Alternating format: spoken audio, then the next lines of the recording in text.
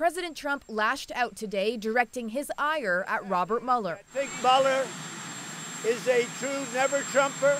He's somebody that dislikes Donald Trump. Uh, good morning, everyone, and Yesterday, in his first public comments on his investigation, Mueller refused to clear the president. if we had had co- confidence that the president clearly did not commit a crime, we would have said so. Trump didn't see it that So way. He said, essentially, you're innocent. I'm innocent of all charges.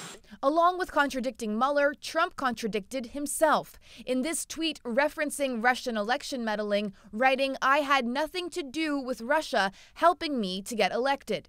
Half an hour later, Trump said Russia didn't help at all.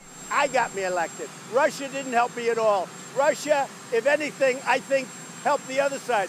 Not so, says the Mueller report. It found Russia's meddling was meant to hurt Hillary Clinton and the Trump campaign expected to benefit. But despite Mueller's stellar reputation, Trump said he can't be trusted. I think he's totally conflicted. We had a business dispute, uh, not a nice one. The president seemingly referring to Mueller requesting a refund of his membership fee at a Trump golf course in 2011.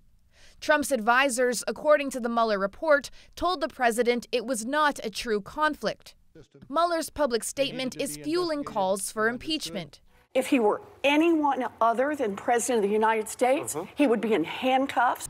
we should at least start to have this debate. We owe that to the American people. But a day later, still less than a quarter of House Democrats have publicly supported impeachment.